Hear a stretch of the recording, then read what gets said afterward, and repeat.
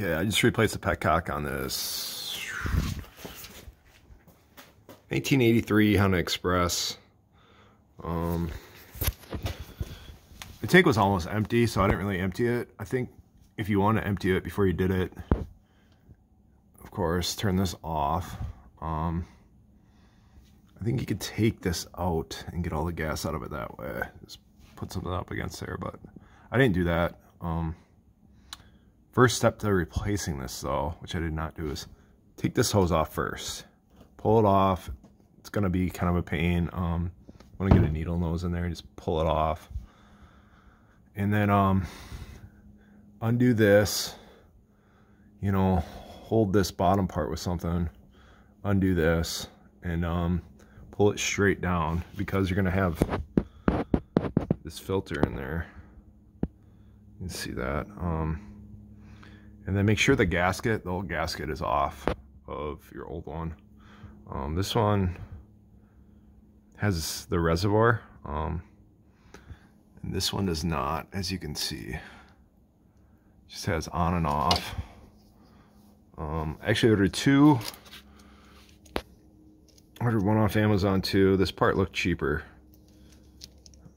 It just didn't feel, um, the quality was a little off on this one kind of see. It just looks kind of as good. I mean, and then I played with this and it just didn't move as good as that new one. This one, this action was a lot smoother. Um, I always buy two things when I do these. Um, this one was like eight bucks. This one was ten, and uh, I replaced it with a ten dollar one on eBay. Um, and then I winterized this, I guess you could call it. Um, I'm in Wisconsin. I'm on the border of Wisconsin, Minnesota, but um, filled this bad boy up with full gas so my tank doesn't rust. And put a little bit of that in it just ran it. I mean, you don't have to put this, just some kind of a stabilizer. Um, bike's in immaculate shape for the year. It's at 83. I've done a lot of work to it so far. Put a new battery in it.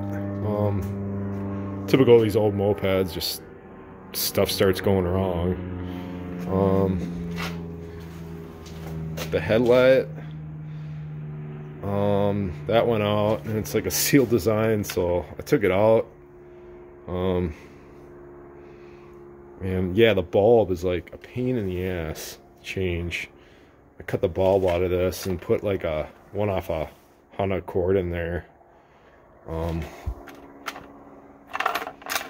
but yeah, um, and then I just kind of like epoxied so I can screw that bulb out. I epoxied something on there. So I actually took it out of tail light, an old beater Honda I got sitting in the driveway, but yeah.